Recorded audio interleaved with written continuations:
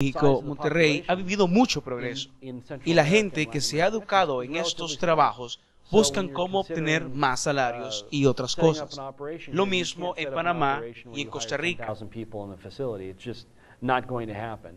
Uh, Mexico has experienced great growth. Uh, the Monterrey area, Mexico City, uh, there is a large, vibrant population. But uh, what we're finding is, is that these countries now, the educated people Y es por eso la progresión natural. La parte difícil es que las poblaciones en Centroamérica son relativamente pequeñas y uno no puede contemplar montar una operación con unos 10.000 operarios. Costa Rica y no lo hiciste en Costa Rica. Right. Well, there's, there's, there's a number of reasons why Nicaragua is, is better positioned. First, uh, Nicaragua, labor rates are Hay un sinnúmero de cosas eh, del por qué Nicaragua es una oportunidad. Primero, los salarios son todavía mente bajos. Mucha gente que vivió en los Estados Unidos y hace de esto una conexión cultural. understand más que Costa Rica. United States than Costa Ricans. You don't find a lot of Costa Ricans that immigrate Porque no hay muchos ticos que vivan o vivieron en los Estados Unidos.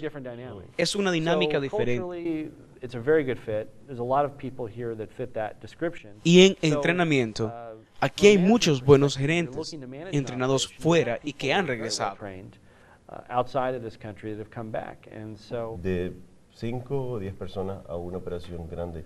¿Cómo fue esa transición?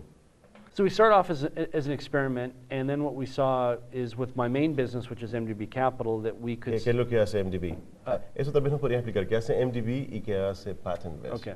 M- MDB Capital is an investment bank. MDB Capital es una empresa que busca capital de inversiones para empresas pequeñas en los Estados Unidos que están en la bolsa. publicly traded.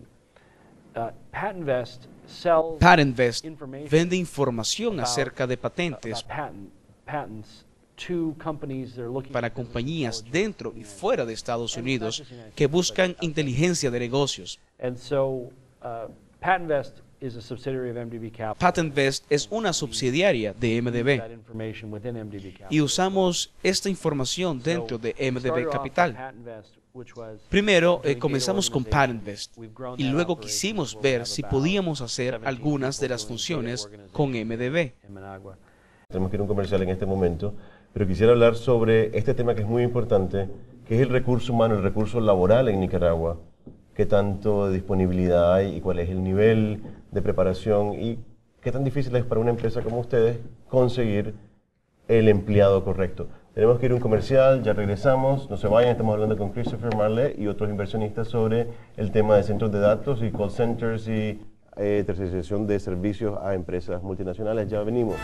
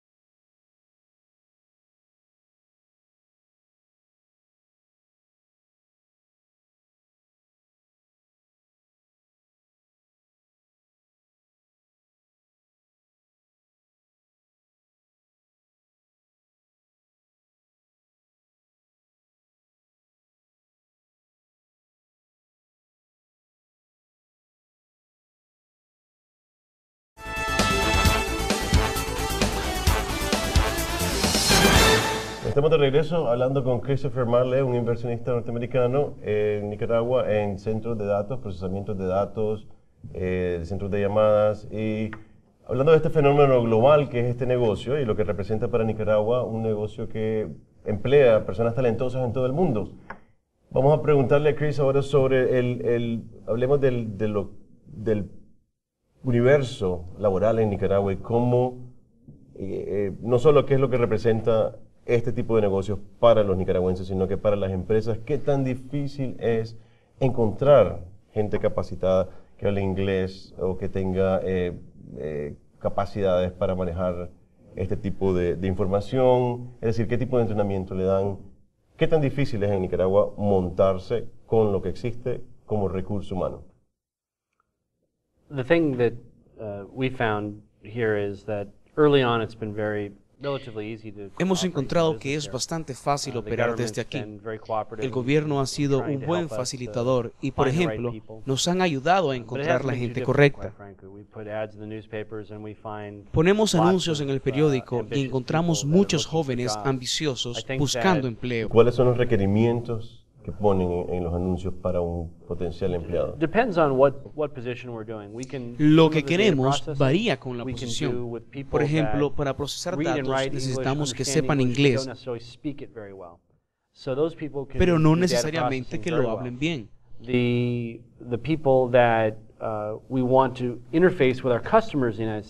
Para interactuar, por supuesto, tienen que hablar muy bien. Uh, y esos son más difíciles de encontrar en Nicaragua. Aunque hay. ¿Hay algún tipo de base de datos o de gente que aplica y que alguien que los evalúa o ustedes los evalúan, ustedes mismos los entrevistan? The uh, right right now we uh, we started off with me interviewing them and uh, and our general manager. Yo comencé a entrevistar a esta gente directamente. We would, we would uh, interview these folks and Uh, now I, I'm not too involved in the interview process. You know, Gustavo understands what we're looking for and, and the various people we're, we're looking to hire. Y ahora es nuestro uh, gerente. These these people largely we got from from newspaper ads, and so. Uh, you know, some of Mucha the people, de la gente uh, eh, llegó a través de periódicos. Shocked us as we put an ad in the newspaper, a little ad for one day, and we'd get 150 resumes.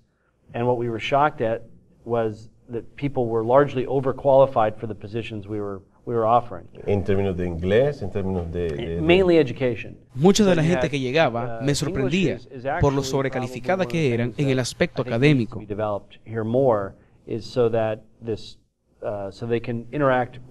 Pero es en la interacción eh, lo que se necesita desarrollar aquí más.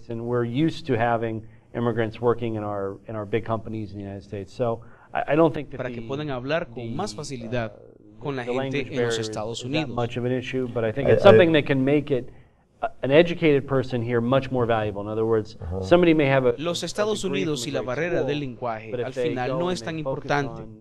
Para mí es mucho más valioso una persona con buena educación que alguien que hable bien inglés. Pero el hablar bien inglés les hará más cotizados and uh, they were willing to do jobs they shouldn't be willing to do. And that's Lo que estamos viendo es que hay mucha gente muy bien educada y que están dispuestas a trabar en oficios que no deberían. So, but we're seeing that as y eso se debe en parte al hecho de que en Nicaragua no se ha integrado uh, una economía global. Además que me imagino parte del atractivo de estar en estos países, creo que lo mencionamos antes, es el potencial del mercado hispano en los Estados Unidos, ¿no? Sea que también necesitas personas bilingües, pero que puedan comunicarse con el, el mercado hispano al que tal vez una compañía le está vendiendo un producto. What we saw was is that again that, that Nicaragua had folks that were that were bilingual in the right two or they were bilingual in the right two languages and it's a it's a obviously a very large market. And what we're finding is is that that the sort of Nicaraguan accent and culture Pero con el acento latino hay más aceptación, ya que se han acostumbrado más. And so the, Nicaraguans are very versatile. They can get on the phone and interact with the folks in the United States, and, and there really doesn't seem to be eh, con los acentos, uh, parte del problema con la India era que uh, había que reentrenar a los operadores, porque los clientes se irritaban cuando oían el acento y se daban cuenta que su llamada estaba siendo contestada al otro lado del mundo. Many people get very irritated and very upset uh, to get to be knowing that their phone is being their phone call is being shipped to India.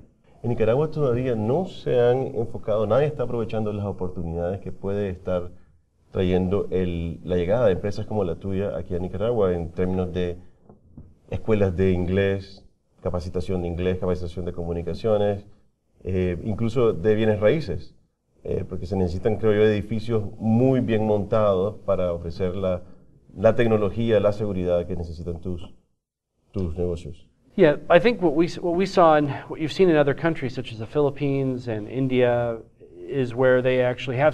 Lo que hemos visto en países como Filipinas es que se ha desarrollado toda una industria de servicios para las empresas de este tipo. Escuela para agentes en esta industria, escuelas de lenguas, etc. Queremos participar en eso, en instalaciones. Uh, so I think that that will develop into a, a, big part of the outsourcing business here. As far as the facilities are concerned, what we saw when we decided to open our operation here was there wasn't Cuando abrimos operaciones, vimos que no había aquí las instalaciones adecuadas. And ended up renovating it and making it appropriate for our use. Y decidimos really comprar una propiedad que renovamos uh, we could, we could rent or, or, y la ajustamos or, a nuestras necesidades. No había nada para nuestros propósitos. Es que la gente no sabe, tal vez no lo hemos mencionado, que ustedes compraron el antiguo edificio de, de, las, de la embajada, ¿no? Y este, y este es un edificio que era un, era un bunker, pues, era una, una, una fortaleza con paredes de concreto de un metro, más de un metro, ¿no? Y, una, toda una serie de telecomunicaciones. Yeah, well, we first started by building, by buying a building in Altamira and making that appropriate. Now, what we saw was is that primero compramos en Altamira facilities for these outsourcing companies that we knew were going to come here, mm. and so Uh, Luego, viendo que venían otras compañías, le pregunté a mi gerente general si había algo que pudiéramos comprar para promover espacio. La gente va a venir porque aquí está el recurso humano, pero no hay oficinas apropiadas en donde instalarse. Y buscamos en Managua, incluso por algo no nuevo, algo construido que lo pudiéramos equipar bien, para outsourcing. Y bromeando me dijo que la embajada estaba en venta. Nos tomó como un año.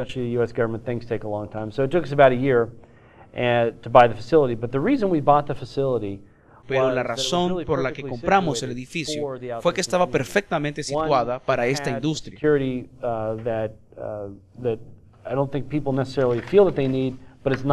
Primero, por la seguridad que tiene el complejo. Tenemos un complejo de más de 40.000 metros cuadrados, enmurallado, y además con la confiabilidad de las redes de energía que le preocupan tanto a todas las empresas que se mueven en Nicaragua. En, eh, confiabilidad en, en electricidad, energía y en telecomunicaciones. ¿Eso es lo que te refieres? Yes. Dices redundancy. Yeah, so what we did is, the nice thing about the embassy property is it was connected to three power grids. So even when you have these La embajada está conectada con tres redes de energía de diferentes sectores. And so there was always power to the embassy. In addition to that, Entonces nunca estás sin energía. Y además, el gobierno puso seis generadores que dan más de un mega de capacidad de emergencia. Uh, we call it the bunker. I don't know what it, it was really used for communication purposes. But it's a approximately, Además, uh, el gobierno había construido un búnker para comunicaciones de aproximadamente 400 metros cuadrados y con paredes de más de un metro de concreto de ancho. Para seguridad. Esto es sumamente apropiado para un centro de datos por la seguridad. No es solo seguridad, pero es un lugar que no sufre durante un terremoto.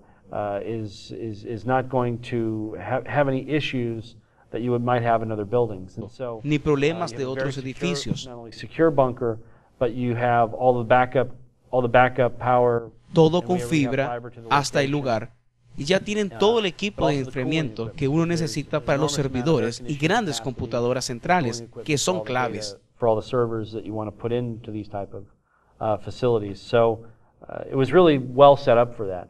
There, there are a number of other buildings that were more service type buildings that, that won't aren't that will probably end up uh, converting into other things to be uh, useful for the property. So our first tenant uh, is going in the first building. ¿Quién, quién es ese? Uh, it's a company called Cytel, which is already has operations here in Nuestro primer inquilino escogió el primer uh, edificio donde estaba la recepción.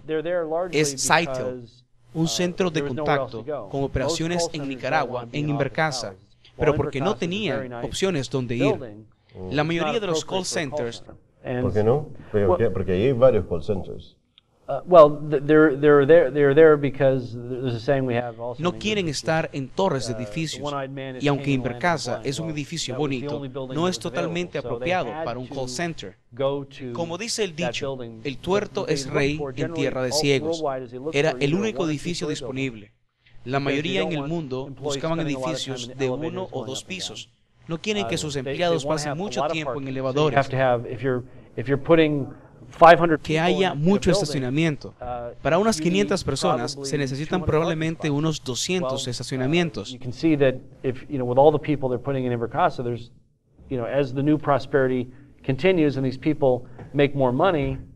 Y entre más prospere este negocio y más gente llegue a Ibercasa y esta gente gane más dinero, todos compran carros. And you need not only the redundancy, which uh, of course Invercasa has and some of the other office buildings here have, but you want, you need sort of a, la otra cosa que es muy importante en estos días en la economía global es mantener baja la rotación y el ausentismo de tus empleados.